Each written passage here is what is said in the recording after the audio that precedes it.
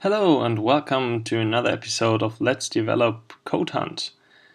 In this episode, I'm going to continue chapter 9, uh, sorry, sector 9 of the Code Hunt game, starting with the fifth task, at which I did not look before.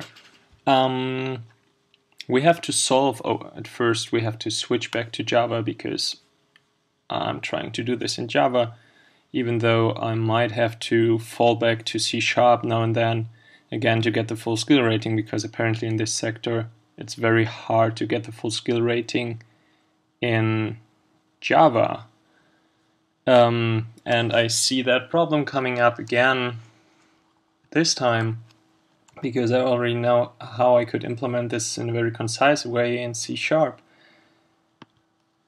Whereas I guess I need to resolve to a loop again to do this, the same thing in uh, Java, which is we create an array of size n. And then we go in a loop and say int i equals 0, i smaller than n, i plus plus. And we set result i to i, and then we return the results. Quick save, let's see what happens. It fulfills the task and I even get the full skill rating. Nice, okay. I didn't expect that after, after the last two tasks where it was really hard to get the full skill rating, um, at least on the Java side. But I'm content with full skill rating I don't need any more. Let's see what's here. So we are supposed to return a boolean array apparently of length 10 only that it should be initialized with true instead of false which is the default in Java and also in C Sharp. So again I could use the enumerable repeat thing on the C Sharp side but I guess on the Java side I have to resolve to explicit things or maybe after my success with the loop in the last task I'm willing to try it out if I can um, use a loop here to just say int i equals 0 i smaller than result length length and i plus plus and then we're just going to set result i to true and then we return the results. The pattern looks similar to the last time. Let's see what the skill rating tells us. Yeah, okay, this is what I expected in the last task. Already we get not so good skill rating for this solution. I'm going to try real quick whether it gets any better if I say new boolean array and just say true, true. Let me copy this, 4, 6, 8, 10. Let me see what happens now. Why ever I would want to write such a program. Oh, and I get the full skill rating for this. Don't know if I agree with that solution uh, with that uh, skill judgment, but apparently this time it worked. Nice. Let's go into the next task. Okay, we get in a string and we're supposed to return an array of strings. We get in a string of 6 A's and we're supposed to return an array of 6 characters and here it is 7 A's and seven A's. So it's the string split into the characters, which is possible by saying two char array if I'm not completely wrong, but now I have probably an array of characters and not an array of strings, right? Yes. Um, so I could convert it this way, but sadly the types are incompatible. So I have to do manual conversion char array results equals char array of string length. Oh, it's a string, so it's no, it's length, but it's a it's a, a method. And now we go for int i equals zero, i smaller s dot length, uh, i plus plus, and then we say that result i is uh, really new string s dot char at i. That will not receive the full skill rating I suppose. But let's wait. Char was unexpected. Char was unexpected oh ah yes char was unexpected. There's a new missing. And now we can't convert this way so interesting um, so let's try it this way cannot implicitly convert from char to string no from string to char what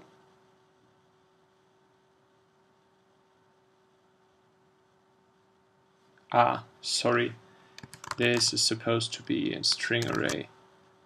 Ah, stupid me.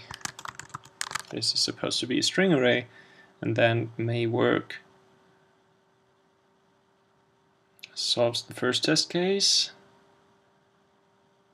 Hopefully solves the next test case too. But will probably not get the full scale rating. Yeah, I expected nothing more. So let me just think whether there's a possibility to do this a little more nicely in Java. It may be uh, that we can do this with a string split actually. So do a split maybe on the empty string. See what happens here. Mm, yeah, good approach in theory, but apparently there's now empty uh, an empty string at the first and the last position, so it's not it's not exactly what I want.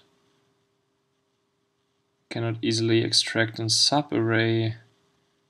Um, let me think about this. I Maybe I can do something with a regular expression here because I, I think that split takes a regular expression. Okay, uh, I admit that I just uh, stopped the recording for a short second to look this up on the internet. The solution I found is using a negative look ahead, which was would look like this to split the string, but I'm not sure if it works. Um, no, now I'm now I get rid of the first empty string, but the last empty string is still there. So this is not the solution to my problem. I don't think I will find anything else here. That's sad. That's sad. So I go back to my loop solution. If any of you have ideas how to do this uh, shorter in Java, please let me know, drop me a comment. Um, for now, I think I'm going to resolve to C sharp again to hopefully get the full skill rating on this task. Let's see what we can do here. If I just say um, s dot select, so I need to import LINQ system dot Linq select Um, actually not sure what happens here, so let me see if that's a character already, a string already, or if, it's a character, I think it's a character, so I'll get a conversion problem right here. Yeah, so I do the neat little convert to string thing Let's see how many skill points uh, I get for this solution. Personally, I don't think it's very much nicer than the loop solution I implemented in Java. And okay, apparently the Code Hunt game also thinks that this is not much nicer than my loop solution because I get the same skill rating. Let me think about this. What else can I do? I can say as to char array actually to get my array out of it. But now I have uh, the same problem as in Java that this is a char array, not a string array. So I need to convert the characters to strings actually. And if I do that via select, I'm as yeah, I'm at the same point as I was before, so I can just save the the neat thing here. Hmm, hmm, hmm, I implement the same thing again. What does the split function do here? Uh, does this work? Is that this valid? No, actually I can only split by characters and characters cannot be empty, so I cannot do the same trick I tried in Java. What else can we do? What else can we do? Actually, I don't have any idea how to do this any better than select char. I mean, I can use two toString here and say to array, but that's essentially the same th thing I did before. Interestingly enough, this is what you wanted to have. Okay, now I want to I want to have a quick look on the Java side. Yes, thanks. Um, I want to have a quick look to the Java side and see whether I can improve this thing here by saying character to string. Actually, is that? I'm not sure if that's possible, but we'll we'll find out soon enough. Apparently, it compiles. Let's see what kind of skill rating we get for this solution. We get the full skill rating actually. Interesting, so he didn't like my concatenation with the empty string. Okay, good to know. Let's move on to the next level. I think one more level I can do in this episode. Hopefully, last times I said that I failed epically, but this looks easy enough. We get an integer, return an int array, and apparently it's just the numbers in reverse since we did about the same thing before.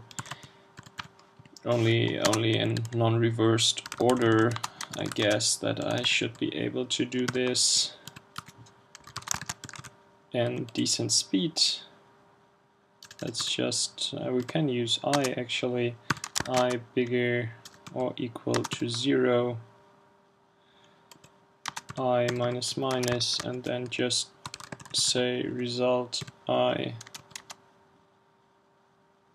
equals, no we can't.